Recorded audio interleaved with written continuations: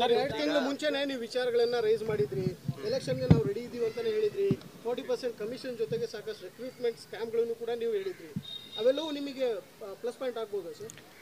ನೋಡಪ್ಪ, ಜನಕ್ಕೆ ಈ ಆಡಳಿತ, ಭ್ರಷ್ಟ ಆಡಳಿತ, ಈಗ ಅವರು ಬೆಲೆಗಳನ್ನೆಲ್ಲ ನಾವು ಕಂಟ್ರೋಲ್ ಮಾಡ್ತೀವಿ.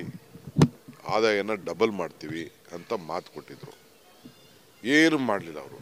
ಈಗ ನಾವು ಅವ್ರಿಗೆ ಸಹಾಯ ಮಾಡಕ್ಕೆ ಹೊರಟಿದ್ದೀವಿ. ಹತ್ತು ಕೆ ಜಿ ಅಕ್ಕಿಯನ್ನು ಕೊಡಬೇಕು, ಇನ್ನೂರು ಯೂನಿಟ್ಟು ಪವರ್ ಕೊಡಬೇಕು, ಎರಡು ಸಾವಿರ ರೂಪಾಯಿ ಪ್ರತಿ ಹೆಣ್ಮಗಳು ಕೊಡಬೇಕು.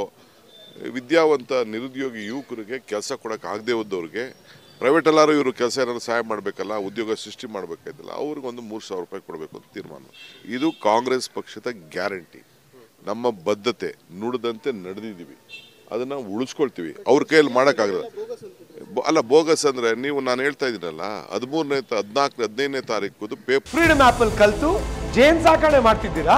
ಹಾಗಾದ್ರೆ ನಿಮ್ಮ ಜೇನ್ ತುಪ್ಪವನ್ನ ಒಂದು ಕೋಟಿಗೂ ಹೆಚ್ಚು ಫ್ರೀಡಮ್ ಆಪ್ ಬಳಕೆದಾರರಿಗೆ ಯಾವುದೇ ಖರ್ಚಿಲ್ಲದೆ ಮಾರಾಟ ಮಾಡಿ. ಅಡ್ವರ್ಟೈಸ್ಮೆಂಟ್ ನೀವು ತೆಗಿರಿ. ನಾನು ನಾಳೆ ಯಾವ್ದಾದ್ರು ಒಂದಿನ ತೆಗೆದು ನಿಮ್ಮ ಮುಂದೆ ಇಡ್ತೀನಿ ನಾನು. ಯಾಕೆ ಅವ್ರಿಗೂ ಹೇಳಿದ್ರು? ಹತ್ತು ಏಳರಿಂದ ಹತ್ತು ಗಂಟೆ ಕರೆಂಟ್ ಕೊಡ್ತೀವಿ ಅಂತ ಯಾಕೆ ಹೇಳಿದ್ರು?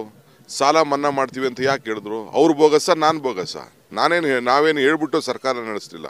ಐದು ವರ್ಷ ನಿಮ್ಮ ಕೆ ಮೂರುವರೆ ವರ್ಷನ ನಾಲ್ಕು ವರ್ಷ ನಿಮ್ಮ ಕೈಲಿ ಸರ್ಕಾರ ಇತ್ತಲ್ಲ, ಯಾಕೆ ನಿಮ್ಮ ಕೈಲಿ ಮಾಡೋಕ್ಕಾಗಲಿಲ್ಲ? ನಿನ್ನೆ ಮಾದಾಯಿ ವಿಚಾರದಲ್ಲಿ ಅವರು ಒಂದು ಉತ್ತರ ಕೊಟ್ಟಿದ್ದಾರೆ, ಎಲ್ಲಿ ಮಾದಾಯಿ ಇದರಲ್ಲಿ.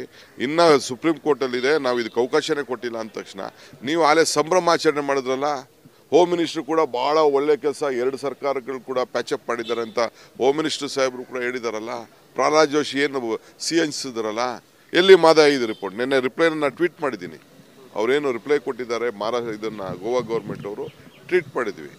ಸೊ ಈ ಇವತ್ತಿಂದ ಸರ್ಕಾರದ ಕೊನೆ ದಿನ ಪ್ರಾರಂಭ, ನೀವು ಎಣಿಸ್ಕೊಳ್ಳಿ ಅರವತ್ತರಿಂದ ಅರವತ್ತೈದು ಸೀಟ್ ಅವ್ರು ನಿಂತ್ಕೊಳ್ತಾರೆ. ಕಾಂಗ್ರೆಸ್ ಪಕ್ಷ ನೀಚಳವಾದಂಥ ಬಹುಮತದಿಂದ ನಿಮ್ಮ ಆಡಳಿತವನ್ನು ನಿಮ್ಗೆ ಅನುಕೂಲ, ಜನರಿಗೆ ಅನುಕೂಲ ಆಗುವಂಥ ಆಡಳಿತವನ್ನು ಕೊಡ್ತಾರೆ ಫ್ರೀಡಮ್ ಆ್ಯಪಲ್ಲಿ ಕಲ್ತು ಜೇನ್ ಸಾಕಣೆ ಮಾಡ್ತಿದ್ದೀರಾ? ಹಾಗಾದ್ರೆ ನಿಮ್ಮ ಜೇನ್ ತುಪ್ಪವನ್ನ ಒಂದು ಕೋಟಿಗೂ ಹೆಚ್ಚು ಫ್ರೀಡಮ್ ಆಪ್ ಬಳಕೆದಾರರಿಗೆ ಯಾವುದೇ ಖರ್ಚಿಲ್ಲದೆ ಮಾರಾಟ ಮಾಡಿ.